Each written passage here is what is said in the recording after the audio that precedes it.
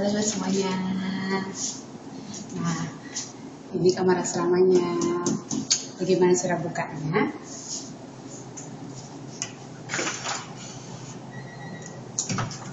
Yuk masuk.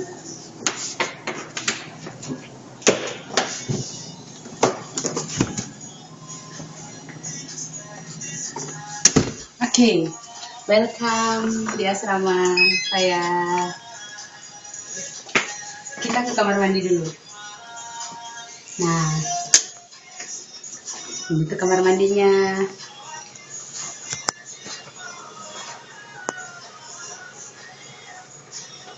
Nah, ini kamar mandinya.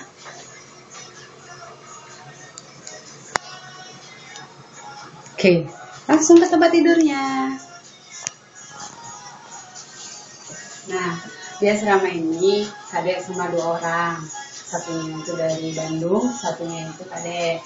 Tadi setiap asrama itu kita dapat kulkas, kita dapat kulkas, kita dapat satu lemari dan satu meja belajar seperti ini. Dan tentunya pasti tempat tidur. Tempat tidurnya besar. Nah, kemudian eh, karena Korea sangat dingin, jadi kalian dapat yang namanya fasilitas penghangat udara, eh, penghangat ruangan. Nah, penghangat ruangan itu ada di bawah. Jadi ini selamanya akan hangat meskipun udara di luar itu dingin. Nah, cara ngaturnya seperti ini. Nah, ini mesinnya. Di sini semua serba canggih. Jadi kita harus bisa canggih juga. Nah, di sini kita bisa ngatur temperaturnya seperti ini.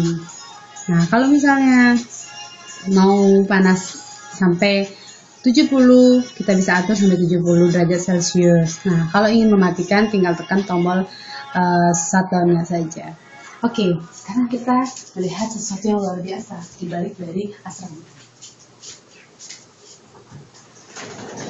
Nah, di asrama ini ada apa ya dibilangnya serambi mungkin ya serambi belakang asrama.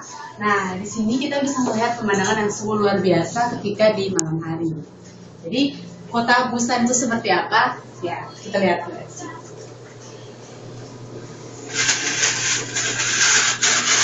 Iya. Nah sebenarnya ini tuh nggak bisa dibuka karena sangat berbahaya dan anginnya sangat sangat dingin. Nah, suhu sekarang di luar itu hampir 2 derajat Celcius. Seperti kita tuh hangat. Oke, dah.